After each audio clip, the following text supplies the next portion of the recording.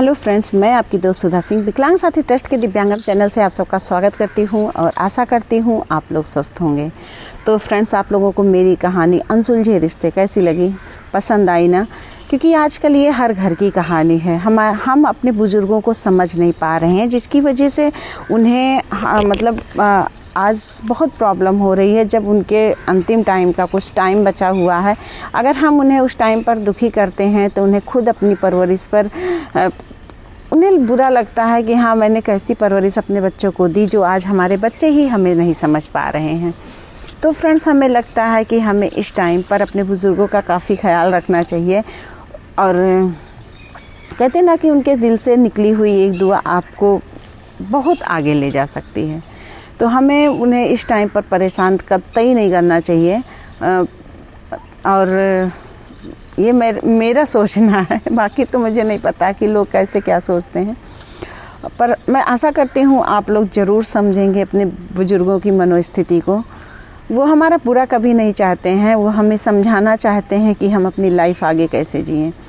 तो फ्रेंड्स आप लोगों ने अब तक सुना कि कुसुम जी की पड़ोसन आती हैं जो उनकी बहू की थोड़ी सी बुराई कर मतलब उनकी बहू की नहीं, वो कहती हैं आजकल बहू ऐसी होती हैं, सब बहाना बनाई रहती हैं।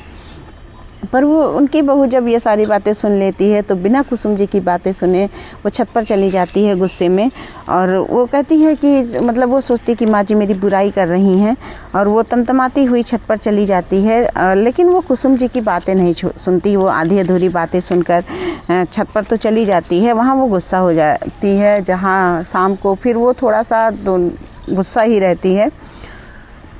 किसी तरह, इसी तरह खटपट में दोनों सास बहू का वक्त गुजरता है और जिसका प्रभाव उनके घर पर भी पड़ता है, उनके बेटे पर, और पति पर भी इसका प्रभाव पड़ता है कि घर में अक्सर लड़ाई झगड़ा हुई, होती रहती है, जिससे उनका बेटा भी बहुत दुखी रहता है।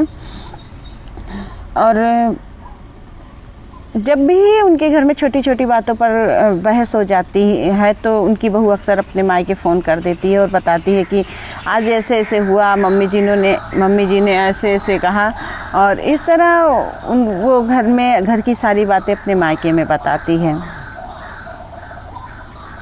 और वो अक्सर अपनी गलती अपनी माँ से छुपा कर अपनी सास की गलतियाँ सारी बताती है कि हाँ मेरी सास ने ये से कहा और वो अपनी बातें नहीं बताती। तो जिसकी वजह से उसकी माँ भी कहती है कि मैं क्या बताऊँ बेटा, मुझे नहीं पता था तुम्हारी सास ऐसी हैं और मैंने तो बहुत अच्छी समझ कर तुम्हारी शादी की थी और वो ऐसी हैं, मुझे नहीं पता था। वो भी अपनी बेटी के बेटी को समझाने के बजाय उस का गलत गलत बातों से उसका कान भरती रहीं। रीमा का व्यवहार दिन प्रतिदिन रूखा होता जा रहा था, जहाँ पर वो से पहले अपनी सास से कोई बात पूछनी होती थी, अब वो उनसे कोई बात नहीं पूछती थी, उनसे बेरुखी से बात करती थी। उनकी हर छो, उनकी हर छोटी सी छोटी गलती को वो बहुत बढ़ा चढ़ा कर अपने पति से बताती थी और वो कुछ भी करती मतलब वो कोई भी काम करती तो वो उस हर काम में नुक्स निकालती, अगर उसे कुछ समझाना चाहती कि बहू ऐसे नहीं, ऐसे करो तो वो कहती कि आप मुझे मत समझाइए, मैं इतनी समझदार हूँ और आप अपनी अपना ज्ञान अपने पास रखिए, मुझे मत ज्ञान दीजिए, मैं बहुत समझदार हूँ। धीरे धीरे इसी तरह वक्त बीत रहा था। दोनों सास बहू में कटुता आ रही थी। दोनों आपस में बात को सुलझाने की बजाय उस बात को वो लोग बढ़ाते ही जा रहे थे, जिससे उनकी रिश्तों में काफ़ी दूरियाँ आ रही थी। इसी बीच रीमा के बेटे का बर्थडे आया और अरुण ने अपने बेटे का बर्थडे बड़े धूमधाम से मना, मनाना चाहा था, जिसमें जिसमें जो है कुसुम जी ने भी काफ़ी सब काम किया जो भी करना था, या बहुत अच्छे से सब लोगों ने तैयारी की। रीमा के मायके वाले भी उस टाइम वहाँ पर आए, और जहाँ पर रीमा जो है अपने मायके वालों को, जब उसके मायके वाले आए तो वो अपने मायके वालों की तरफ़ ज़्यादा ध्यान दे रही थी और इधर से ससुराल पक्ष से जितने भी रिश्तेदार आए थे, वो कुसुम जी के ऊपर छोड़ दिया था कि मम्मी जी हैं, वो देखेंगी। और वो जिसकी वजह से कुसुम जी को थोड़ा सा लग रहा था कि कहीं उसके उनके घर वाले ये ना सोचें या उनके मतलब उनके जान पहचान वाले ये ना सोचें कि उनकी बहू अपने मायके की तरफ़ ज़्यादा ध्यान दे रही है और अपने ससुराल वालों की तरफ़ कम ध्यान दे रही है। उन्हें बुरा थोड़ा सा लग रहा था। उनका बेटा भी मायके जैसे ही उसके ससुराल वाले आए, वो उन लोगों की खातिरदारी में जुट गया और उसने कब अपने रिश्तेदारों से एक बार भी हाल चाल नहीं लिया कि आप कैसे हैं, क्या हैं।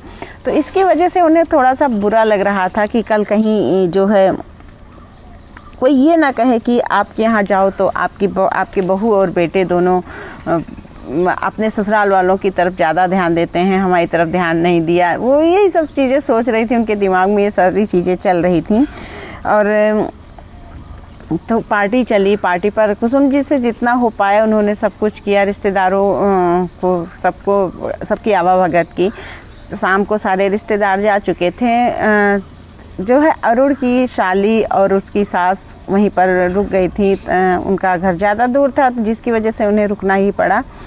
और सारा काम समेट कर कुसुम जी अपने रूम में जब रात में आई तो काफ़ी थक चुकी थी और घर पूरा बिखरा था पार्टी की वजह से। तो पूरा घर समेटते समेटते उन्हें काफ़ी रात भी हो गई। तो वो जब रूम में आई और रूम में आकर जब वो सोई तो आ, सो, सो गई और सुबह जब वो नहा धो के फ्रेश होके किचन की तरफ़ गई तो उन्होंने, उस समय उनकी साली जो है चाय बना रही थी अरुण की। तो वो अरुण उससे पूछती हैं कि, बेटा जो है, सॉरी, नाश्ता बना रही थी। तो वो उससे पूछती बेटा, आपने चाय बनाया क्या? पिताजी को चाय दे दूँ तो इस पर उनकी साली कहती है, नहीं, मैं अभी दीदी के लिए नाश्ता बना रही हूँ, रात में दीदी काफ़ी थक गई थी और जिसकी वजह से वो अभी सो रही हैं, उन्हें अभी उठेंगी तो भूख लग जाएगी और जो है, जीजा जी को ऑफ़िस जाना है तो मैं उनके लिए नाश्ता बना रही हूँ। ये लीजिए पैन, मम्मी जी, आप चाय बना लीजिए ना, जो है, चाय बनाने में क्या है? कुसुम जी पैन उठाती हैं, वो अपने लिए, अपने पति के लिए चाय बनाने के लिए पैन रखती हैं। तभी उनकी साली कहती है कि, जो है काम काज करते रहना चाहिए। यूँ बैठकर हमेशा खाने पीने से आपका किसी का भी शरीर ख़राब हो सकता है और फिर बुढ़ापे में दिक्कत होती है। तो काम काज हमेशा करना चाहिए। ये नहीं कि जब से बहू आ गई तो हम सारा काम बहू के ऊपर छोड़ दिए और खुद बैठकर खा रहे हैं। ये चीज़ें अच्छी नहीं होती हैं। तो कुसुम जी समझ जाते हैं कि ये जो है उन्हीं की तरफ़ इशारा है और वो कुछ बोलती नहीं हैं, वो मुस्कुरा देती हैं और वो समझ जाते हैं कि उनकी बहू ने उनके बारे में ज़रूर बताया है कि कुछ ये करती नहीं है, जो भी है। वो मुस्कुरा कर जो है चाय बनाती हैं तो उनकी साली भी कुछ और एक दो शब्द ऐसा बोलती है, जिससे उन्हें बड़ा बुरा लगता है, बड़ा अपमान सा लगता है। वो सोचती हैं कि ये छोटी है, फिर भी ये हमको इस तरह बोली बोल रही है तो उन्हें बड़ा बुरा सा फील होता है। वो चाय बनाकर अपने रूम में आती हैं, अपने पति को चाय देती हैं, नाश्ता देती हैं। तो चाय नाश्ता देने के बाद उनका चेहरा थोड़ा सा उतर जाता है तो उनके पति पूछते, क्या हुआ? तुम थकी, थक ज़्यादा गई थी क्या कल? और तुमने कल काफ़ी काम भी किया तो थक गई होगी। तो वो कहती वो कुछ बोलती नहीं है और चुपचाप से मुस्कुरा कर रह जाती हैं। लेकिन वो अपने उनके पति, अपने पत्नी से पूछते हैं कि आखिर बात क्या हो गई और क्यों मतलब तुमने तुम्हारा चेहरा गिरा हुआ, पर वो अपने पति से कुछ नहीं बताती, बस वो ये सोचती हैं कि मेरी बहू तो हमारी इज़्ज़त नहीं करती है, कोई बात नहीं, लेकिन आज उसके मायके वाले भी हमारी इज़्ज़त नहीं करते हैं, इतना मैं सब कुछ करती हूँ, उसे अपनी बेटी जैसा प्यार देती हूँ, बेटी जैसा मानती हूँ। फिर भी आज उसकी नज़रों में मेरी कोई अहमियत नहीं है और उसने अपने घर में, मेरे बारे में कितना सब कुछ गलत फैला के रखा है। इसी तरह वक्त बीत रहा था टाइम आगे बढ़ रहा था। एक दिन कुसुम जी के पति पेपर पढ़ रहे थे, तभी उनके सीने में काफ़ी तेज़ दर्द दर्द हुआ। उन्होंने कुसुम जी से कहा, कुसुम जी ने तुरंत अपने बेटे को फ़ोन मिलाया और उन्हें लेकर वो लोग हॉस्पिटल गए, जहाँ पर जो है डॉक्टर ने उनका काफ़ी इलाज किया और यहाँ पर उनके बेटे ने काफ़ी ज़िम्मेदारी दिखाई। अरुण अक्सर ऑफ़िस जाते, ऑफ़िस जाकर, इसके बाद फिर अगर अपने पिताजी के पास हॉस्पिटल आते, वहाँ पर उनकी केयर करते, अपने घर आकर, घर पर भी जो कुछ भी होता था, वो सबकी देखभाल करते थे। लेकिन काल के आगे सब लोग मजबूर थे। और कुसुम जी के पति का देहांत हो जाता है कुछ दिनों बाद। अब जो है जब उनकी दो उनका, उनकी डेथ हो जाती है तो कुसुम जी पर दुखों का पहाड़ टूट पड़ता है वो खुद को नहीं संभाल पाती हैं। उन्होंने कभी भी अपनी लाइफ को बिना अपने पति के इमेजन ही नहीं किया था पर जब उनके ऊपर ये दुख हो पड़ता है तो वो एकदम टूट सी जाती हैं। यहाँ पर बेटे ने उनका क्रियाक्रम किया और अपने पिता के लिए जो भी वो कर सकता था उसने सब कुछ सम, मतलब किया और इस तरह उनके घर में एक दुख का माहौल बना रहा। बहू तो अभी कुछ नहीं बोलती थी वो जो भी जो भी बातें होती थी वो सब इग्नोर कर जाती थी। उस टाइम तो उसने कुछ नहीं बोला, पर धीरे धीरे फिर वो अपना उन दोनों में फिर बहस होना शुरू हो गया। और एक दिन जो है उनके बेटे ने कहा कि मम्मी जो है पिताजी का जो फंड है या जो भी है उनकी ज़मीन जायदाद, वो चीज़ों के कागज़ आप हमें दे दीजिए, हम उसके बारे में मतलब कुछ देख लें जो भी कार्रवाई करनी है। और कुछ मतलब जो भी है, वो एप्लीकेशन वगैरह दे दें तो कुसुम जी देती तो हैं, पर उनके मन में एक अजीब सा दर्द उठ जाता है कि अभी उनके पति के गए, कुछ ही दिन हुए और बेटे ने ज़मीन जायदाद या पैसे कितने हैं, सब कुछ ये जानने की पूरी मतलब वो कोशिश कर रहा है। लेकिन उन्होंने सोचा कि ठीक भी है, अगर ये कार्रवाई लेट हुई तो पैसे भी फंस जाएँगे और अब तो जो जिसको जाना था वो तो चला गया।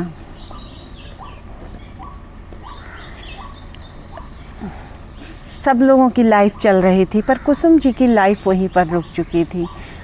उन्हें वो अक्सर रोती रहती थी अपने पति को याद करके। उनके हाथ में कुछ नहीं था, उनका उनका दर्द शायद कोई नहीं समझ सकता था, जिसकी वजह से वो मतलब अक्सर वो रोती रहती थी। उन्हें लग रहा था कि उनकी सारी खुशियाँ कहीं उनसे दूर चली गई हैं। वो पूरा दिन शांत सी रहती थी, कुछ ज़्यादा बोलती नहीं थी, उनसे जितना हो पाता था उतना काम करती थी। बहू तो कुछ दिन नहीं बोली कि हाँ ठीक है, इसके बाद फिर जब थोड़ा सा टाइम हुआ तो फिर उसने अपना रंग दिखाना शुरू कर दिया। वो बात बात पर कुसुम जी को ताना देती, बात बात पर उन्हें भला बुरा बोलती, अभद्र भाषाओं का प्रयोग करती और कुछ ना कुछ वो कहती रहती जैसे लग रहा था कि कुसुम जी के पति के जाने के बाद कुसुम जी उसके ऊपर बोझ बन गई हैं। कुसुम जी भी ज़्यादा कुछ नहीं बोलती थी, उन्हें समझाने वाला जा चुका था, क्योंकि उनके पति अक्सर जब भी कोई बात हो जाती थी, कोई लड़ाई झगड़ा हो जाता था तो उनके पति अक्सर उन्हें समझाते रहते थे, अब वो जा चुके थे।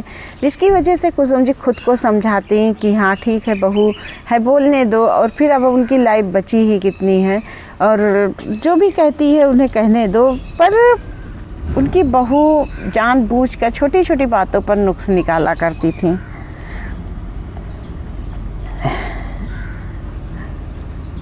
इधर कुसुम जी को पेंशन मिल रही थी और उनका कुछ, उनके पति का कुछ फंड था, जिसकी वजह से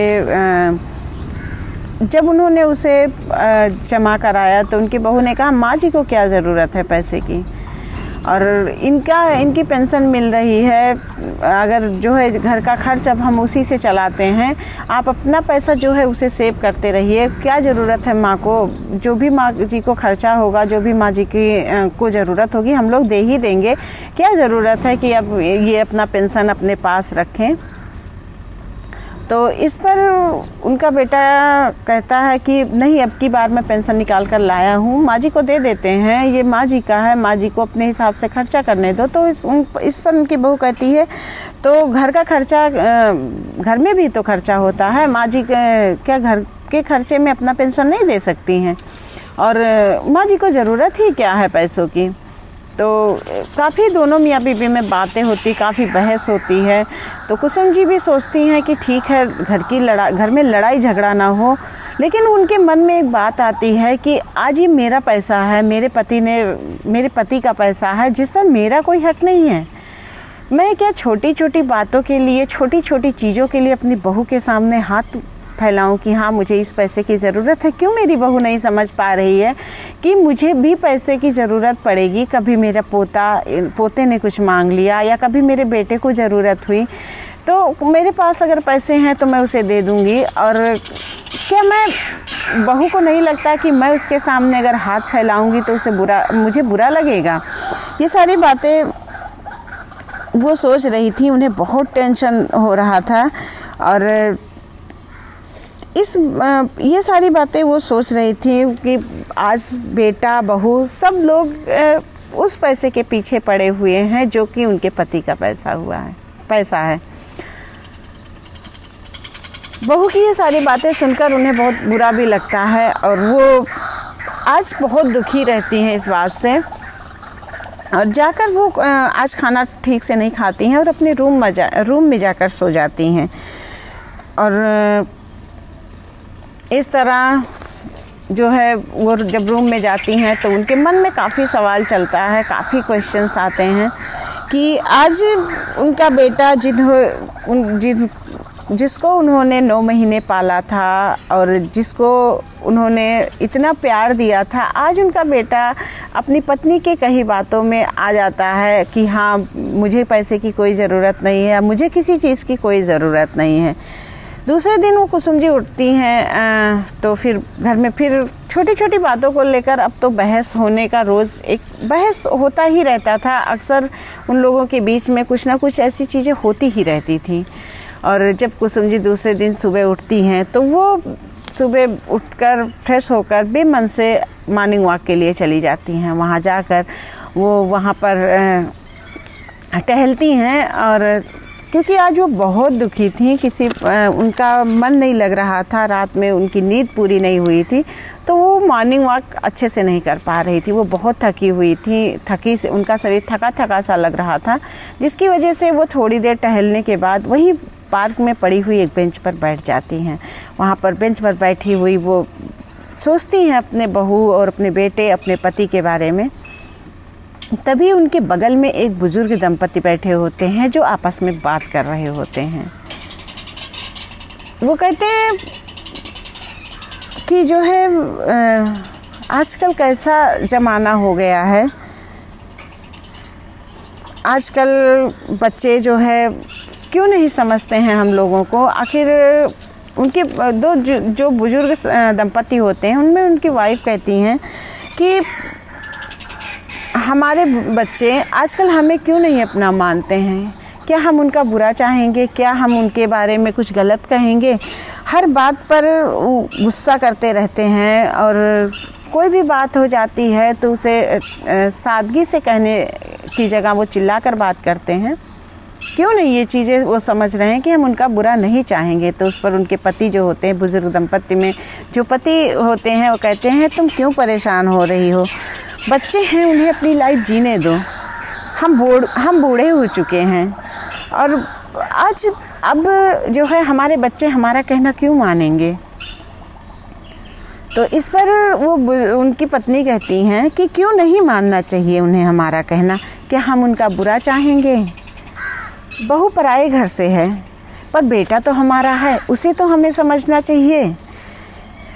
बस बहू की बात पर यकीन कर लेता है। बहू कुछ भी कह देती है, उस बात पर वो यकीन करके हमें भला बुरा बोलने लगता है।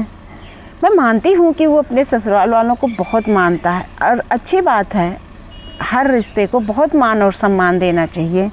पर उनके आगे हमें भी तो वही मान सम्मान मिलना चाहिए। हम तो उनके माता पिता हैं और जब भी ससुराल वालों को कोई तकलीफ़ होती है, हमारा बेटा परेशान हो जाता है। लेकिन हमें, जब बहू हमें कुछ कहती है, अपमानित करती है, तब हमारे बेटे को क्यों दर्द नहीं होता है? ऐसा लगता है कि हमारा बेटा पराया हो चुका है। जी, आज के ज़माने में तो लड़कियों से ज़्यादा लड़के पराए होते जा रहे हैं।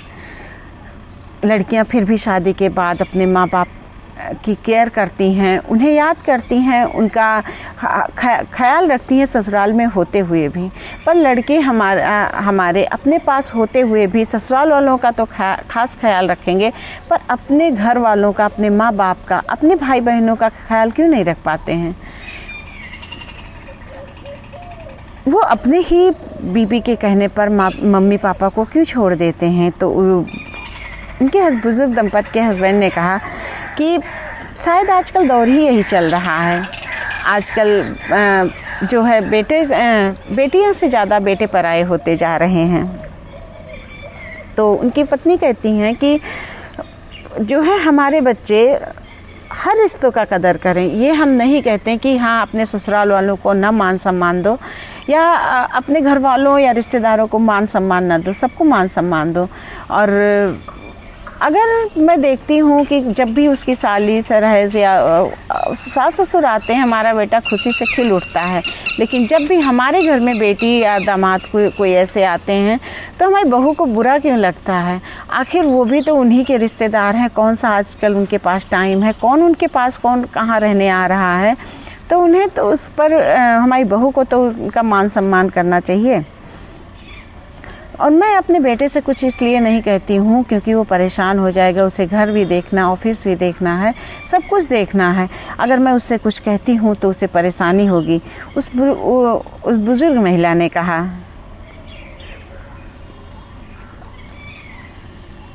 तभी वो उस बुज़ुर्ग पति ने कहा कि क्या कर सकते हैं? छोड़ो भी। और हम लोग अपनी लाइफ जी रहे हैं ना, हमें पेंशन मिल रही है।